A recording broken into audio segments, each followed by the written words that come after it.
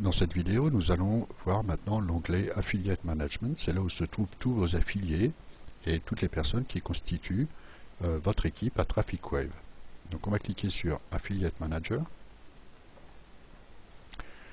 Et ici, soit dans le menu de gauche, soit ici, vous avez quatre liens possibles.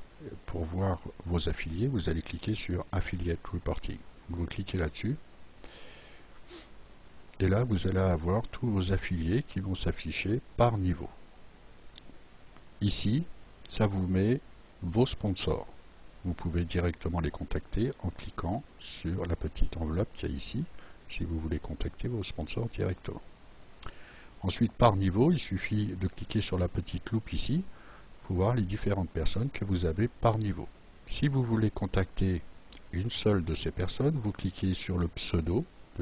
Par exemple, vous voulez correspondre avec Sylvie ici. Vous cliquez sur son pseudo. En cliquant sur son pseudo, vous allez pouvoir lui envoyer un email directement.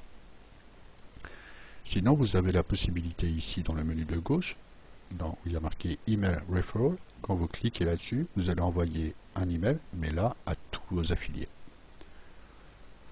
Si vous cliquez sur Commission Info, vous allez avoir euh, le détail de vos commissions en fonction du nombre de participants dans votre équipe. Quand vous cliquez sur Website Statistiques, on va aller faire un tour.